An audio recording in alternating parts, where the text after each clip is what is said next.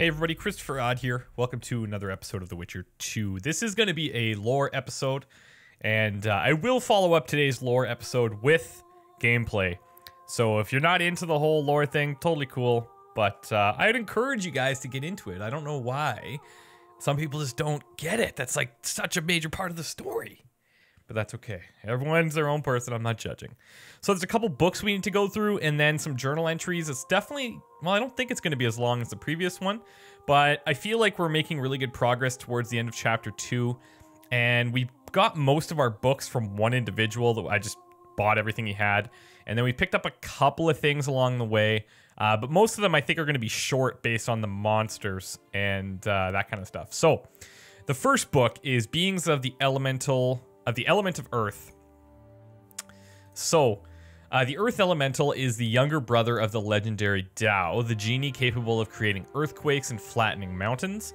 Younger means less powerful, but also more mischievous, felling trees, toppling the walls of buildings, and crushing people into a pulp. Number among this creature's pranks. Of course, it performs only those its master wishes it to. All right, cool. Bruxai, now we've opened this, but uh, the Bruxai is a higher vampire that is a post-conjunction creature, an intruder in our world. She assumes the form of a beautiful woman, then turns terrifying when she grows hungry and attacks. As befits a vampire, the Bruxa drinks blood.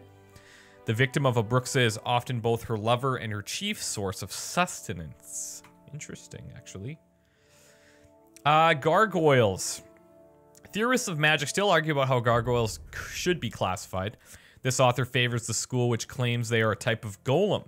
For gargoyles are nothing more than fancy sculptures brought to life by magic and ordered to perform menial duties. They can complete only the most rudimentary of tasks, so they are often found guarding a territory even if their creator turned to dust long ago. He who seeks to deactivate the creatures permanently must first locate the place from which they are controlled. Once there, he extinguish the magic runes that control the construct's will. Okay. Harpy is my favorite monster. There are many species of harpy, and all are kleptomaniacs, though some steal dreams instead of trinkets. They especially like dreams laden with strong emotions, such as nightmares that recur every night.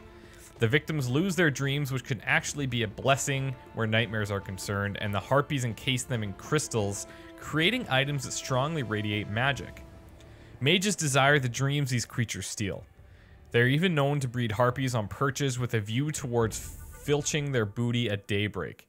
Yet it is rare for a dream or nightmare to be powerful enough or to come from a powerful enough creature to satisfy the desires of a mage. He who would destroy a harpy's nest perched atop a rocky ledge must set a special, glistening explosive trap.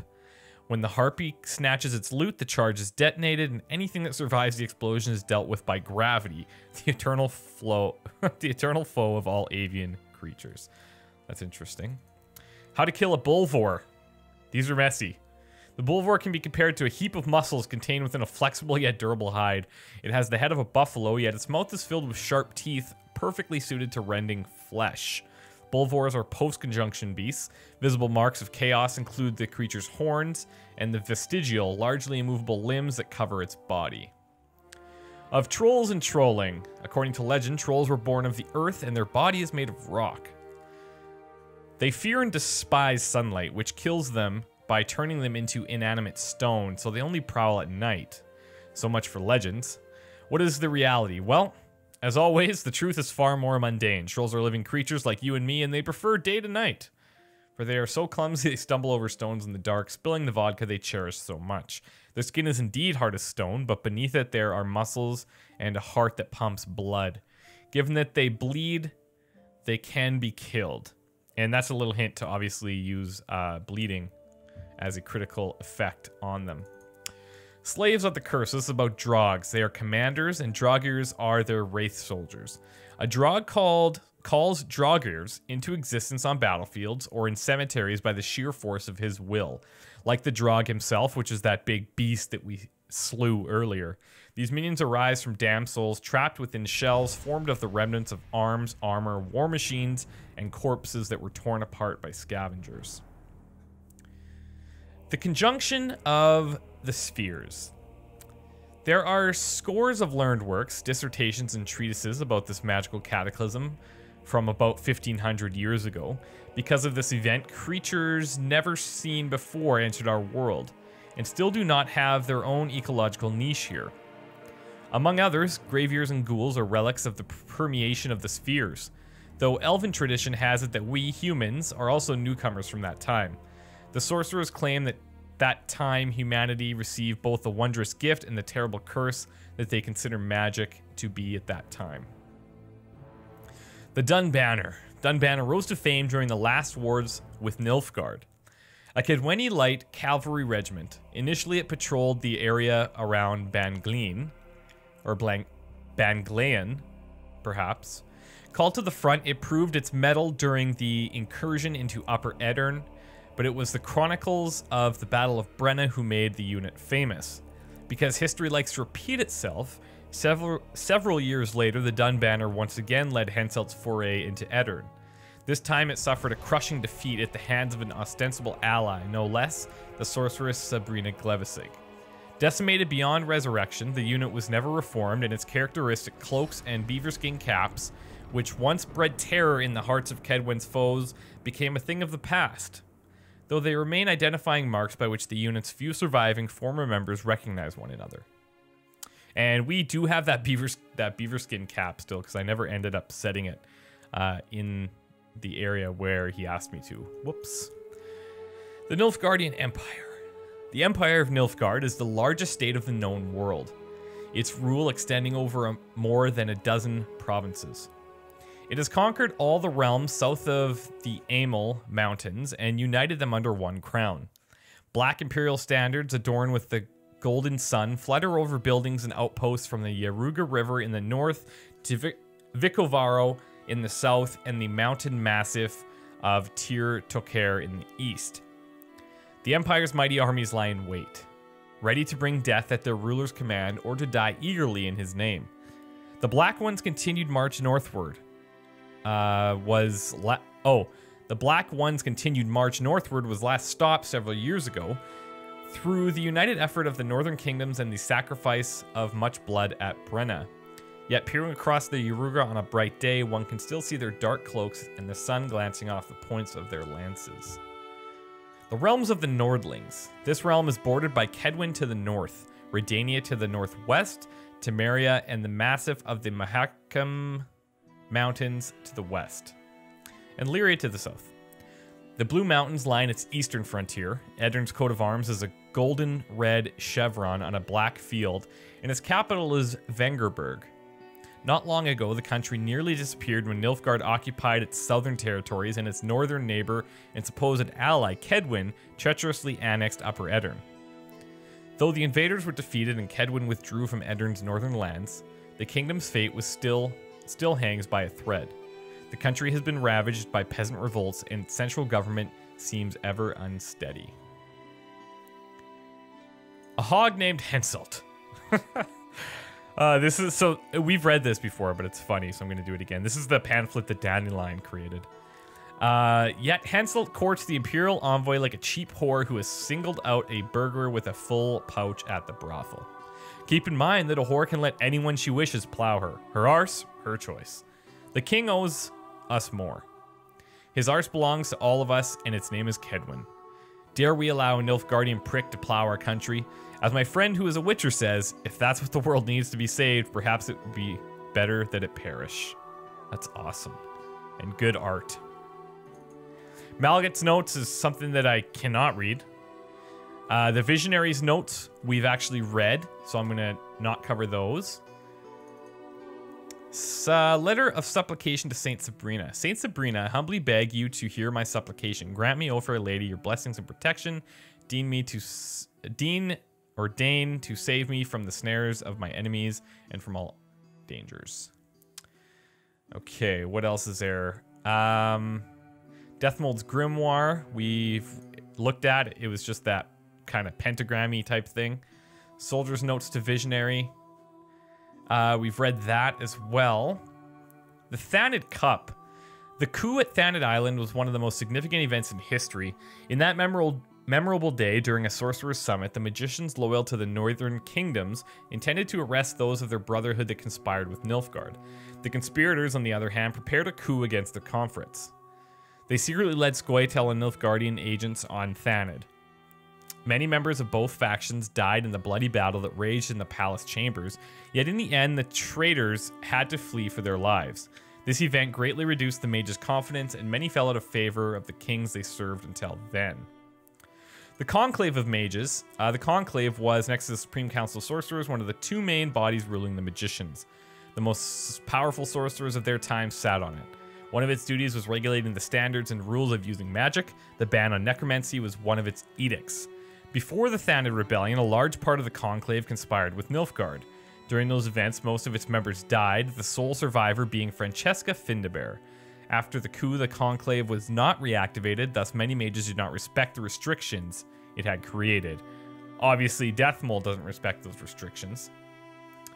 Uh, this is about years of uh, research into the Wild Hunt. So we've read this, but I'm going to read it again. I spent all my life researching the Wild Hunt, and without false modesty, I can say I read everything that exists on the subject. Furthermore, I saw the Wraith gallopade with my own th eyes three times.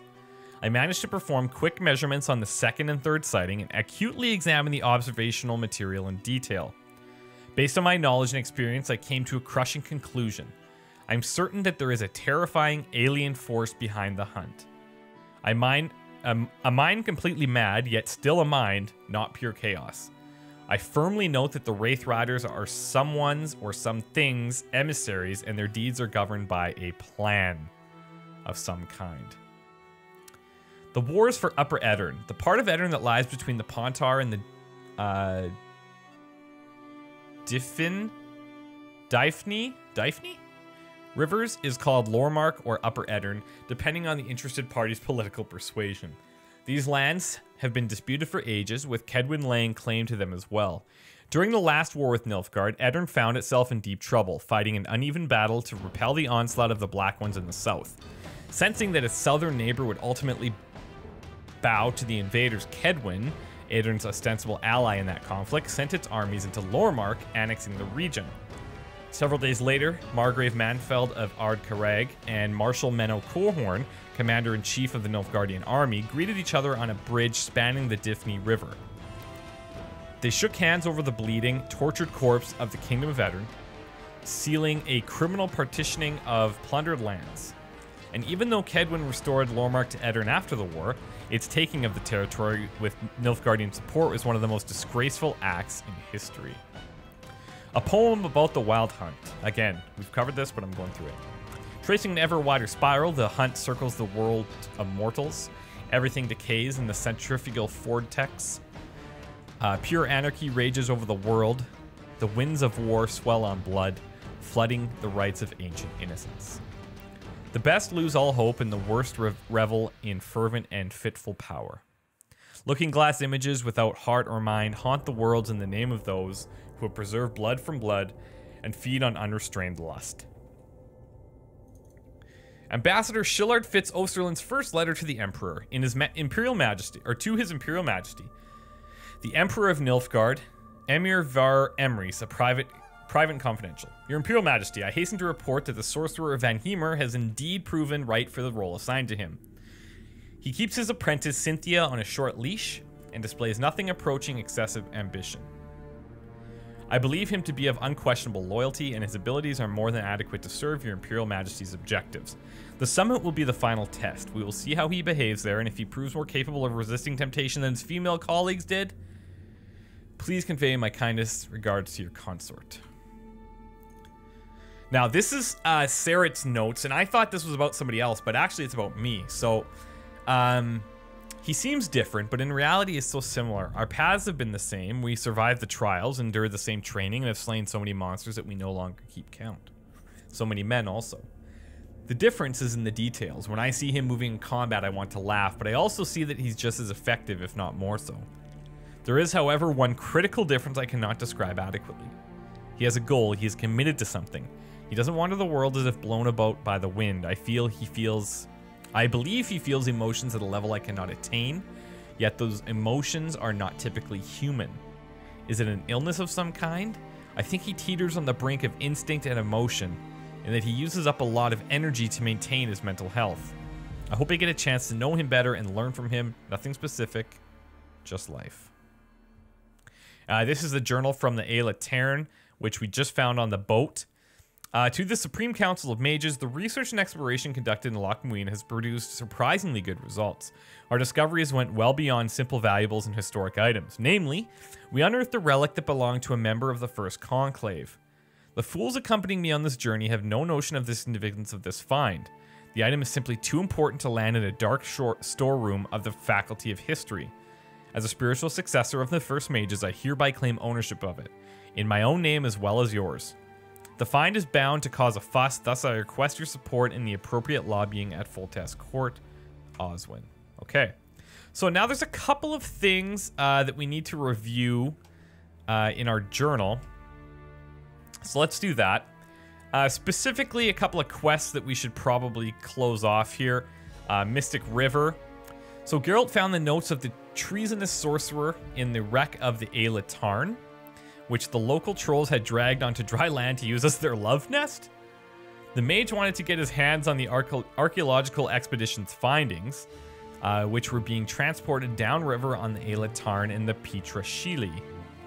Or, or? I guess it would probably, I don't know, Petra. There was a battle and the first ship, the Renegade aboard it, was sunk.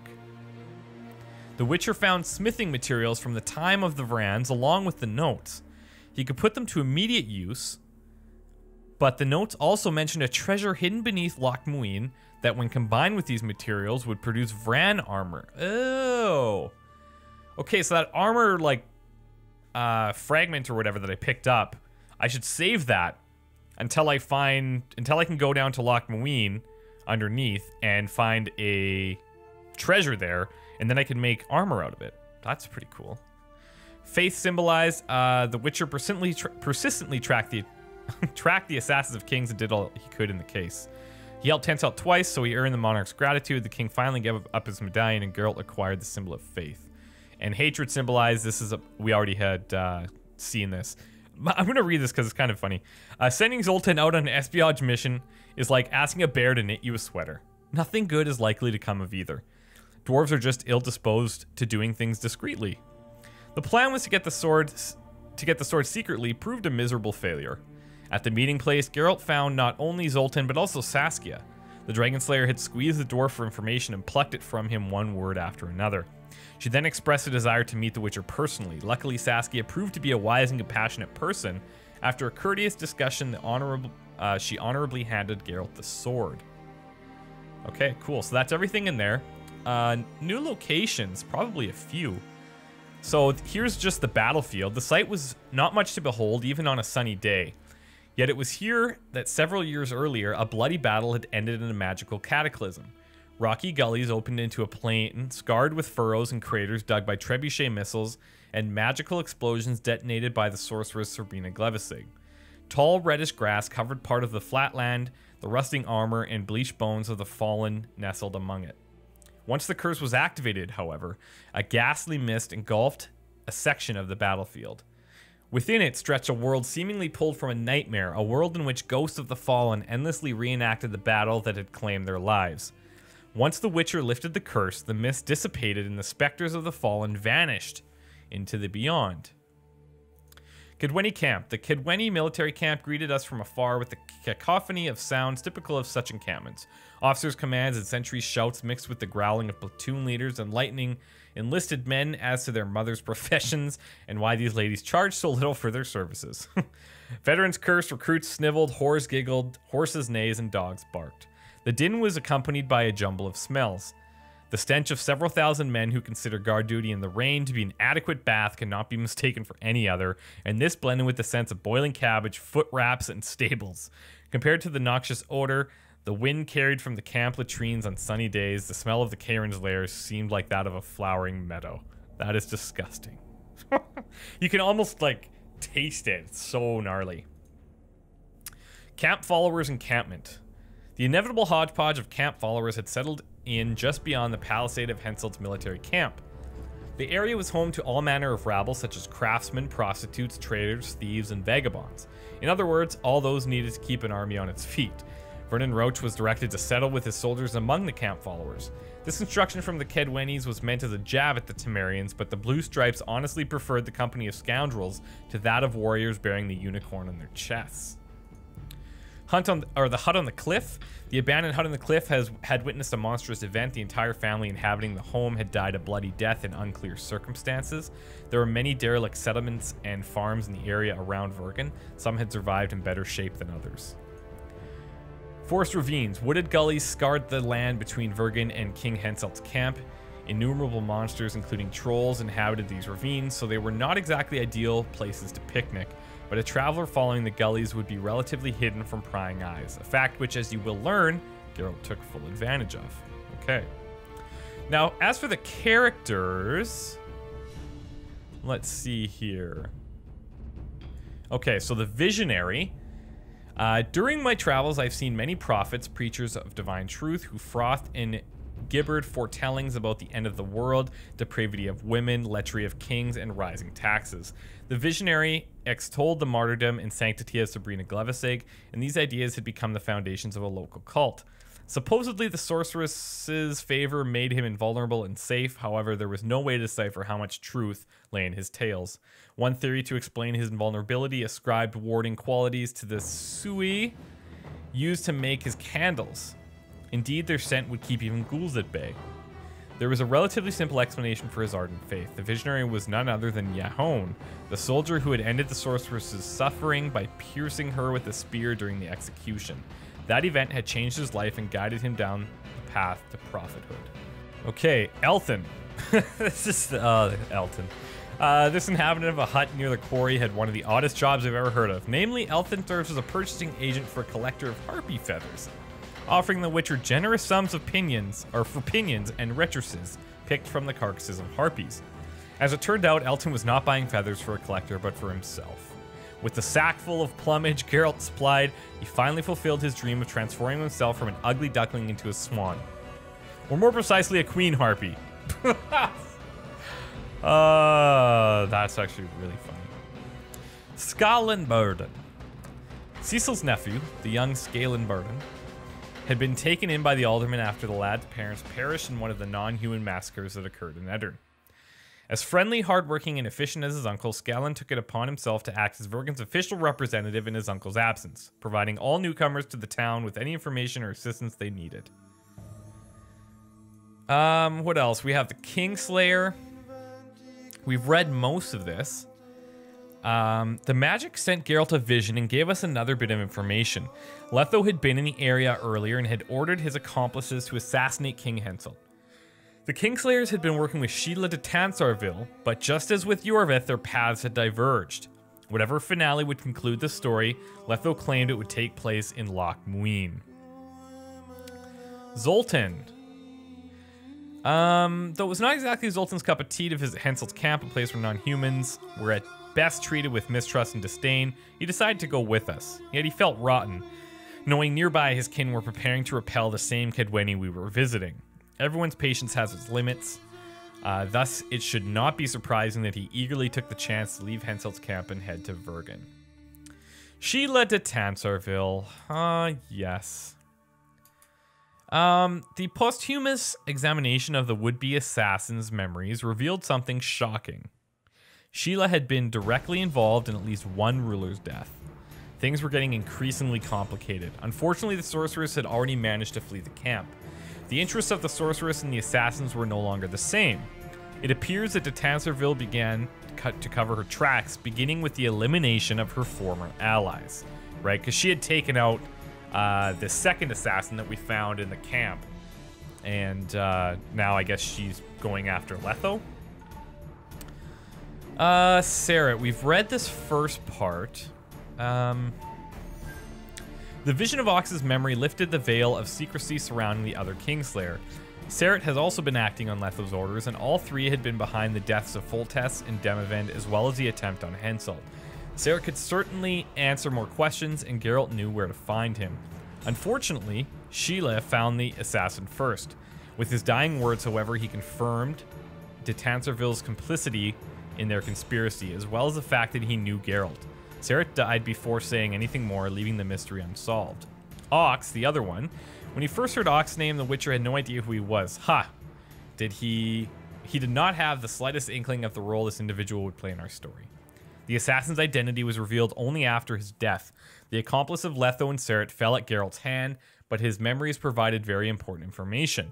The Kingslayers responsible for the deaths of Foltest and Demavend, as well as the attempt on Henselt, had played a game of their own in which both Síle and Iorveth had been pawns. Furthermore, it seemed that they and Geralt shared a common past. Henselt. Um, let's see here. Thanks to the Witcher, the curse plaguing Henselt was lifted. The king breathed a sigh of relief and returned to realizing his plans with redoubled energy. Apart from invading Aedirn, these probably included killing Stennis, hanging, and Stennis is the one who's with uh, Saskia, hanging all non-humans and plowing Saskia, not necessarily in that order. Henselt revealed the entirety of his rotten character when he had Roche's men murdered and personally defiled Ves. In this way, he gained a mortal enemy in the form of Vernon Roche. Dethmold. All said and done, Dethmold was certainly a talented sorcerer. It was only his power that brought the king and his retinue safely through and out of the mist of wraiths. The sorcerer believed that the ends justified the means, and that uh, and thought nothing of the ethical ban on necromancy. The sorcerer was Henselt's creature in full, a lackey who served his master in any way possible. Uh, this included tracking real and imagined spies and thwarting conspiracies on the monarch's life. He was also among those chiefly responsible for the deaths of Vernon's men, those grisly demise, whose grisly demise Henselt himself had ordered. Ooh. Saskia. News had already reached of the heroic Saskia, the woman who held Kaedwen's armies at bay. At the time, however, it all seemed like little more than exaggerated rumors. And uh, sorry, I'm only skipping this part because I think we've read this already. Um, yeah, we have read this. Uh, as with any true hero, there were many incredible tales about Saskia. Some claim she was invulnerable to fire and thus survived that that terrible battle when Sabrina had rained the very flames of hell down upon the combatants. The girl was also famous for killing a dragon. One would be hard pressed to find better material for a local hero. Prince Stennis. After King Demavend's death, Prince Stennis became heir to the Aedirnian throne, at least in name. However, pride and chilly disposition rarely win the love of one's subjects, and that was very much Stennis' problem. His youth did not strengthen his, his claim either. Though no one openly questioned the prince's claim to the throne, uh, to the crown, Stannis did not have enough support to actually have it placed upon his head. Given this situation, sitting out important events uh, would have been political suicide. The war for the Pontar Valley gave him the ideal chance to bolster his position by demonstrating what a good ruler he would make. History has shown time and time again that when a realm is in chaos, deeds rather than words grant one legitimacy in the eyes of one's subjects. Stennis greatly desired to prove himself the equal or superior of the Virgin of Aedirn. He had strong support from the nobility, yet the common folk had few reasons to sympathize with him. Yarpen Zigrin, this is the guy with the comb over. Comb over. Our friend with uh, our friendship with Yarpen Zigrin stretches back a long time. It began during the famed hunt for the Golden Dragon, which was not only which not only was caught but also beat up its hunters. Those events were later described in one of my ballads, and anyone interested in the story should read it. Zigrin, like most of his kin, is characterized not only by his love of gold, but also by his body sense of humor, sober outlook, pragmatism, and loyalty to his friends. Geralt mentioned that he later met Yarpen and his lads in the Majesty's Secret Service, the Majesty in question being Henselt of Kaedwen, uh, for whom they were escorting a secret cargo. Though their own situation was not cheerful at all, they nevertheless aided the Witcher, easily proving that a dwarf won't abandon a friend in need. And Sabrina Glevissig. So, um, I'm gonna go through this whole one. The sorceress Sabrina Glevissig was from Ardcarreg, the capital of Kaedwen, and had been King Henselt's advisor. The reader, however, should not be deceived by that term. This true daughter of the Kaedweni wilderness was famous for her determination and temperament. There was no exaggeration to the rumors that on many occasions she would interrupt the king, thumping her fist on the table and yelling that he should shut up and listen. and the king would indeed shut up and listen. Sabrina Glevissig's predatory nature was paired with an unequally predatory beauty, which she emphasized through appropriately chosen attire. Add to that the power she commanded as a sorceress, and should be clear to what she owed her strong position not only in Kaedwen, but also beyond its borders. This position could not protect her from the king's wrath, however, and when she failed Henselt one time too many, the sorceress ended up at the stake where her life ended. Sabrina cast a curse on the monarch and the battlefield with her dying death, dying breath. Many years later, we were to feel the effects of this malediction. Sabrina had become a martyr in the eyes of some soldiers, thus possibly achieving greater esteem in death than she had enjoyed in life. It cost Geralt a great deal of sweat, but he finally found a solution to the problem. Sabrina's spirit finally found solace, and the curse she had placed on Henselt was lifted. Okay. Um, couple of things about the Bullvore, or a couple of things about uh, some uh, monsters. The Bullvore can be compared to a heap of muscles constrained. Oh, these are all basically exactly the same as the books. Uh, basically the same description, but the pictures are pretty cool. Uh, crafting, not a big deal. Tutorial, alchemy, and glossary. So let's see. The good book. Once a disciple of his said to the prophet Lebioda, Teach me, master, how should I proceed? My neighbor's desires my favorite dog. Should I give him my dog? Uh, my heart shall break from grief. Yet should I deny him the dog, I shall be unhappy, for I shall harm my neighbor with my refusal. What do I do? Keep the dog. Uh, the conjunction of spheres. There are scores of learned works, dissertation, treatises about the magical cataclysm. Yeah, so these are all. I don't know what the difference between the glossary is. Um, oh, this goes a little bit more in detail about some of these areas. Okay, so I'll read you. I'll, I'll go through these. So Kaedwen uh, the formidable ranges of the Blue Kestrel and Fiery Mountains define the eastern and western boundaries of the densely forested, cold and harsh domain of Kaedwen, whose coat of arms is a black unicorn rearing on a golden field. The realm's capital at Ard Carraigh was the seat of power of King Henselt, a man known for having a violent temper and pursuing radical policies towards non-humans. The latter could be attributed to the fact that Scoia'tael units consistently caused great injury to the wooded land and its inhabitants, launching many brutal guerrilla attacks. The local human populace responded with massacres perpetrated on the assimilated elves and dwarves inhabiting the country's cities. And so hatred burned on and blood bred blood. Those who called for peace were accused of treason and often died at the hands of their kinfolk. Furthermore, Kaedwen was involved in an age-old feud with neighboring Aedirn over the territory of Lormark, and that conflict cast a, cast a pall over relations between the two countries. As you will clearly see, its echoes rang out in this story as well. Nilfgaard. The Empire of Nilfgaard is the largest state in the known world, its rule extending over uh, more than a dozen provinces. It has conquered all the realms south of the Amell Mountains and united them under one crown. Black imperial standards adorned with the golden sun flutter over buildings and outposts from the Yaruga River in the north to Vicovaro in the south and the mountain massif of Tir Tokaer in the east. The Empire's mighty armies lie in wait, ready to bring death at their ruler's command or to die eagerly in his name. The Black One's continued march northward was last stopped several years ago, though the united effort, or through the united effort of the Northern Kingdoms and the sacrifice of much blood at Brenna. Yet, peering across the Yaruga on a bright day, one can still see their dark cloaks and the sun glancing off the points of their lances. So some of this is a little bit repeated, but... Lormark or Upper Aedirn. The part of Aedirn that lies between the Pontar and the Dyfni River is called Lormark or. Yeah, this one's exactly the same. Maybe these all have been the same. I can't remember. Yeah, th these ones are the same. Thanedd is the same. Conclave, the same. Okay, those might have been repeated. But it's all good. That's everything. So uh, that's the lore section for chapter two. Anything going forward, even in chapter three, um, anything that I find, I'm going to read as it happens. And that's definitely going to be my plan for uh, when I play The Witcher 3 next year. I can't wait. Uh, is to read things as they come. The build up, uh, like buying all the books and everything and then waiting is nice, but I feel it's easier to keep up and it's it's it's easier to comprehend once you're like in the moment because typically the books and the, the things that are obviously being added to your journal are very relevant to uh, the specific time that you get them. So, anyways, thanks you guys for watching. What's the code gonna be? I like to do these lore things and then have a code at the end to see if people actually watched or listened.